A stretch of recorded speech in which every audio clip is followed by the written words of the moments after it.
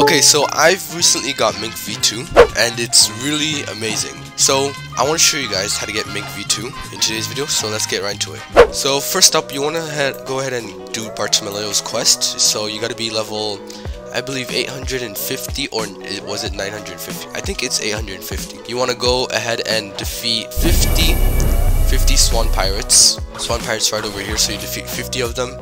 After you defeat 50 of them, you want to go ahead and defeat Jeremy which is right over there. It's pretty easy. So after that, you want to go ahead and free the, the prisoners in the Colosseum. So, and there's a little puzzle. So let me show you guys real quick. So you go over here to the Colosseum.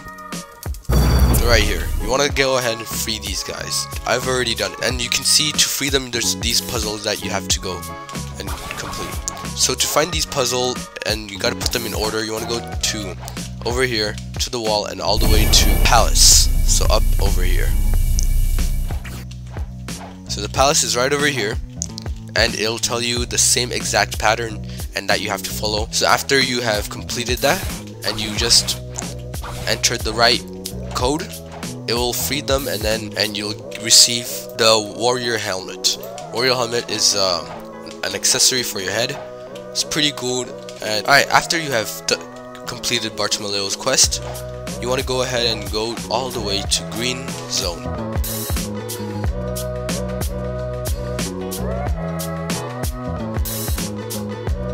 Okay, so after you've made it to Green Zone, you want to go ahead and follow me where I'm going. And just get this blue chest. So you want to go over here, right behind, right there.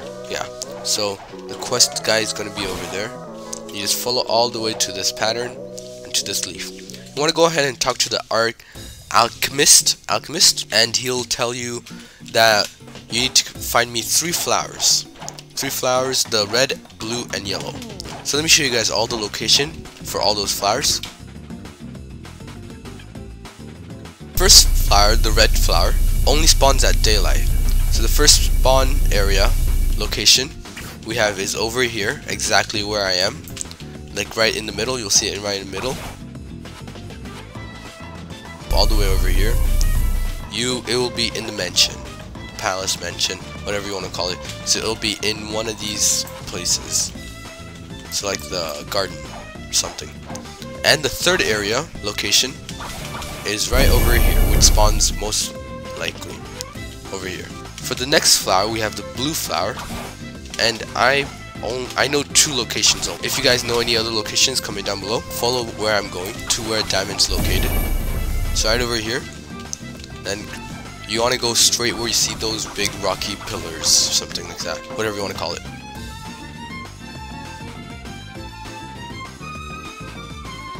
Arrive here is around level 900. So the flower spawns on top of the graves, somewhere around here.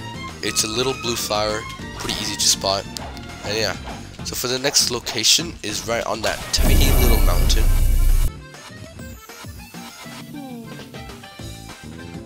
So you want to go over here. There's entrance right over here. And if you go up here,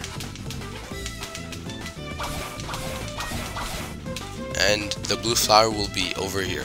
There's one more location, but I do not remember where it is. So the flower, the blue flower will certainly most likely spawn over here. So for the last and final flower, it's the yellow flower that you could get from any NPC by just defeating them. So I killed the Swan Pirates, which took me like three quests of doing the Swan Pirates, and then I got the Yellow Flower. So it's pretty easy, pretty simple, but it does take a little bit of time. So after you've done that, you want to go ahead and go back to Green Zone.